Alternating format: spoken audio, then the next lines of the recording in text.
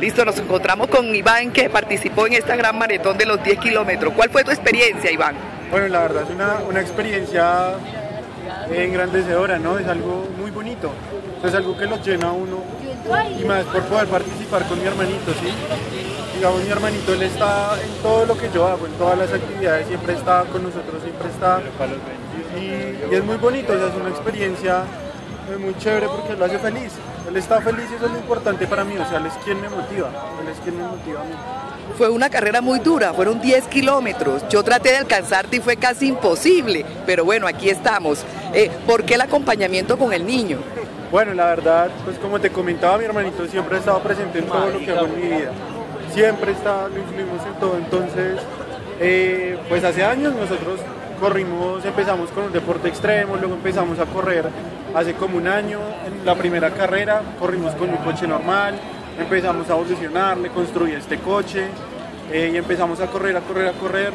Y no, o sea, siempre mi motivación es él, porque, o sea, a veces yo estoy cansado, en serio, yo a veces ya hay kilómetros que me siento súper cansado y él es como quien levanta las manos, él se pone feliz y verlo a él así es lo que me hace correr a mí.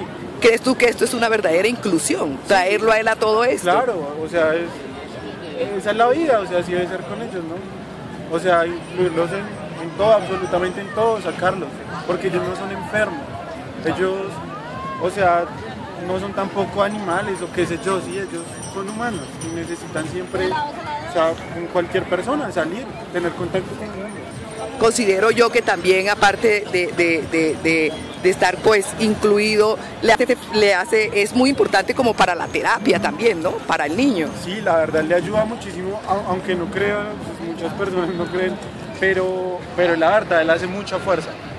Tiene que hacer mucha fuerza porque de hecho a veces yo lo tomo de la mano y lo halo. Entonces él a veces llega muy cansado. En la media, en la media maratón del, del año pasado, él llegó sudando, llegó súper cansado él hace mucho esfuerzo y eso lo ayuda mucho a él y psicológicamente también. Y debe estar muy feliz Nicole, ¿no? Sí, está un poco cansado. Llegó súper cansado, pero sí, feliz.